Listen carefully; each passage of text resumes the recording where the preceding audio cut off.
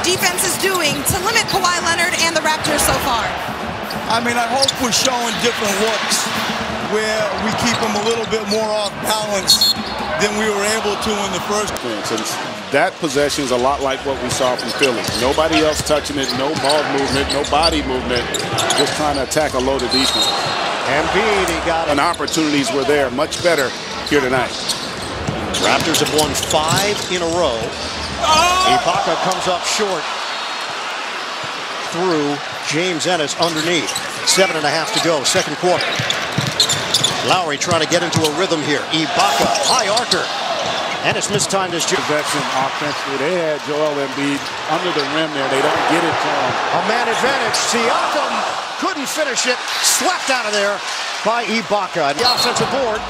All that matters is they get another offensive rebound. Is what can you do for the last 12 minutes, that fourth quarter if you're Toronto?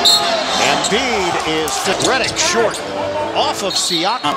And for him to knock that down is going to give his team a little more trust in him out on the floor. Correct. They were 0 of 11 from three-point range. Two minutes gone by here in the fourth. Lowry bounces. Ibaka sticks it. Good time shot. Boy, today the feed. There's the value of cutting. You saw that hard cut by J.J. Redick. He created an opening for Jimmy ah! Butler. They go early to Ibaka.